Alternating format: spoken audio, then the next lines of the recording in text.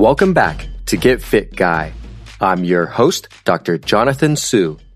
Every week, I'll share science backed tips to help you get fit, stay fit, and optimize performance. It's not every day that you hear someone say, it's rear delts day at the gym.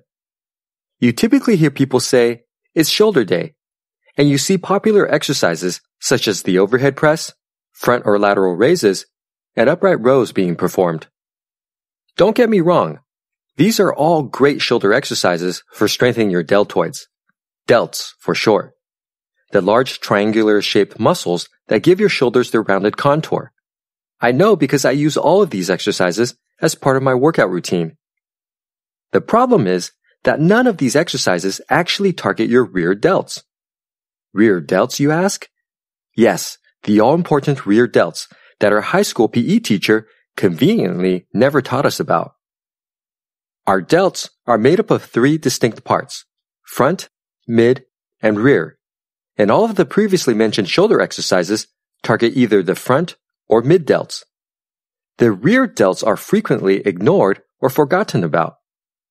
That's a problem because giving the rear delts a little love and attention can help you improve posture, reduce the risk of injuries, and boost athletic performance. Let's not also forget that strong rear delts also look great in a tank top. In this episode, I'm going to give you a crash course on shoulder anatomy, explain the benefits of working your rear delts, and show you how to perform three of my favorite rear delt exercises. One of the main muscles that moves your shoulder is your deltoid. The word deltoid comes from the Greek letter delta, which is shaped like a triangle. Your deltoids are named as such because they look like an upside down triangle. Actually, they're shaped more like a half cone, but close enough. This muscle wraps from your collarbone to the spine of your shoulder blade on top and converges on the side of your upper arm or humerus about a third of the way down. As mentioned earlier, your deltoids are made up of three distinct parts, front, mid, and rear. Your front, mid, and rear delts primarily work to lift your arms forward, sideways, and backwards, respectively. Your front delts also rotate your arms inward, while your rear delts rotate your arms outward. I can't emphasize enough the importance of working your rear delts. If you've neglected these muscles for most of your life, like most people have, when you start working them, it's like taking your first sip of warm coffee or hot cocoa after getting stuck in a blizzard for 24 hours without any power. Your body reacts in a way that just lets you know that you're doing something right. If you're still not convinced that working your rear delts should be a priority, here are four reasons that'll hopefully persuade you to start hitting up these muscles this week.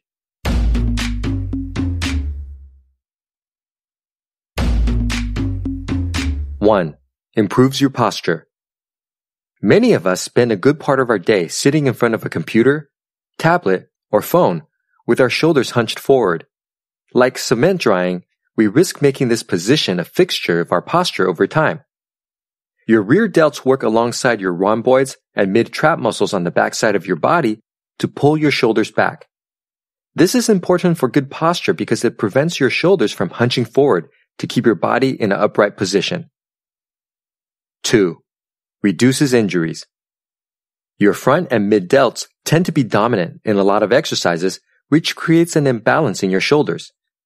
This imbalance leads to excessive stress in your shoulders and increases the risk of injuries. Imagine driving your car for thousands of miles with your rear tires only half inflated.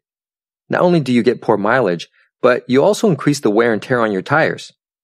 This is similar to what your body goes through when your rear delts are weak in relation to your front and mid delts. 3.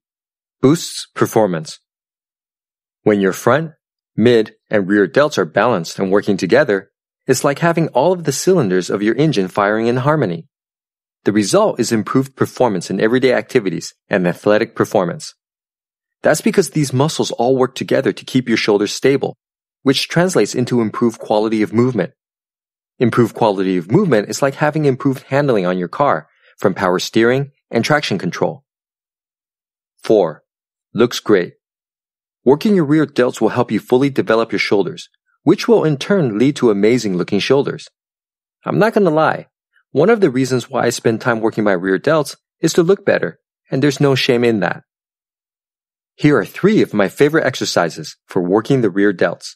Perform three sets of 15 reps for each exercise on non-consecutive days. Check out my YouTube channel for videos on how to perform each exercise. Reverse fly. Lie face down on a bench with a dumbbell in each hand and the inner sides of your hands touching each other. Begin exercising by moving your hands away from each other until your arms are parallel to your torso. Return to the starting position and repeat for up to 15 repetitions. External rotation. Lie on your side with a dumbbell in your top hand.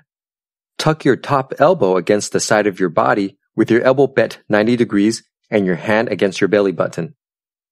Begin exercising by rotating your top hand away from your belly button as far as you can comfortably go, while keeping your elbow against the side of your body with your elbow bent 90 degrees. Return to the starting position and repeat for up to 15 repetitions. Rows. Place your same side knee and hand on a bench with your back parallel to the floor. Hold a dumbbell in your opposite hand with the hand hanging toward the floor and the same side foot on the floor. Begin exercising by pulling the dumbbell toward the side of your body. Return to the starting position and repeat for up to 15 repetitions. Let's put this knowledge to use with a five day rear delt exercise challenge. Over the next five days, your challenge is to exercise your rear delts for two or three days on non-consecutive days. Give it a try and let me know how you feel by emailing me at getfitguy at quickanddirtytips.com or leaving me a voicemail at 510-353-3104. Get Fit Guy is a quick and dirty tips podcast.